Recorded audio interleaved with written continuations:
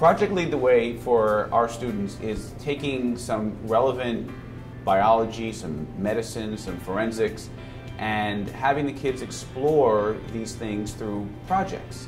It gives us the kids an opportunity to follow the progression of someone who has different medical disorders, and we figure out ways to diagnose them, we figure out what it is about them, how we treat them, and then ultimately the kids leave with a foundation of what biomedical science is.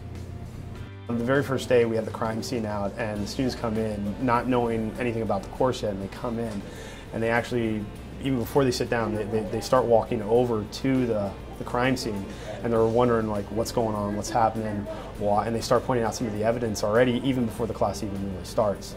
Uh, and then they are, you know, they're sitting there chatting with their friends and you know trying to inquire what's really going on. And then from there then we go into the whole aspect of you know who it is and, and so on and so forth. The students really get involved and really learn uh, how to handle science as an adult as, as a scientist and really enjoy it. Okay. So those are the numbers you're going to read oh, in here. Okay the Project Lead the Way program is really uh, fit to benefit both students and the community that will receive those students who have those skills in biomedicine. St. Luke's has been partnering with, with us actually in the class. They add a, uh, a sense of reality to the course, not that the course lacks any type of uh, engagement, it's a highly engaging curriculum. But when uh, medical students from St. Luke's come in and, and, and go into those classes and have relationships with the students, you get the career piece and you get the authenticity piece that other programs just can't match. Um, Mr. Ayer and Ms. Peters have given our medical students a lot of freedom with what they want to do when they go in the classroom. I think the idea is kind of that they should be there to help um, the high school student, students um, see the diseases that they're learning about from a little bit more of a clinical perspective.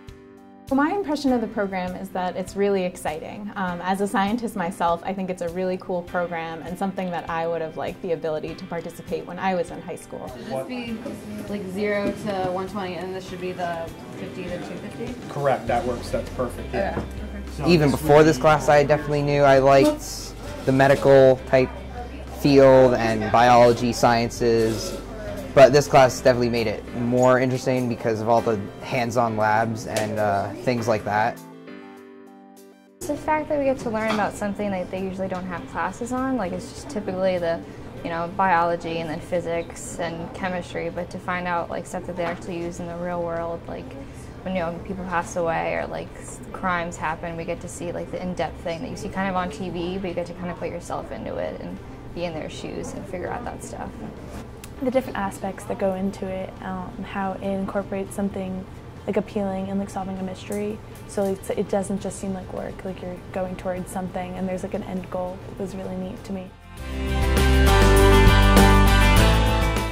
The class really, it opens your mind and makes you think about other careers like in the world. Like a lot of people haven't thought about what they want to do with their life when they get out of college and this class really makes you think that, hey, this could be something for me.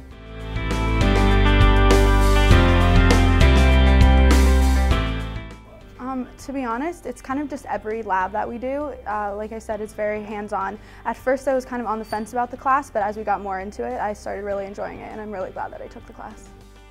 Well, I've always wanted to go into the medical field when I got older, and not a lot of places really offer a course that you can actually see what careers are in the medical field for you much less do labs that are actually there and realistic. Such as when we did the um, blood typing lab, that's an actual lab that people actually do in the real world. So it's more hands-on and it's a lot more in-depth than your normal biology class.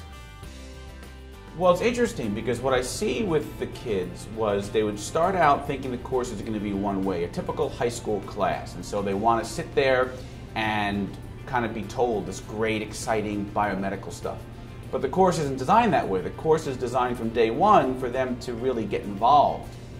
And so some students, um, honestly, some students get a little shocked by that. They, you know, they're not used to sitting in a class and, and, and doing projects. They're used to sitting there and being told stuff and write it down.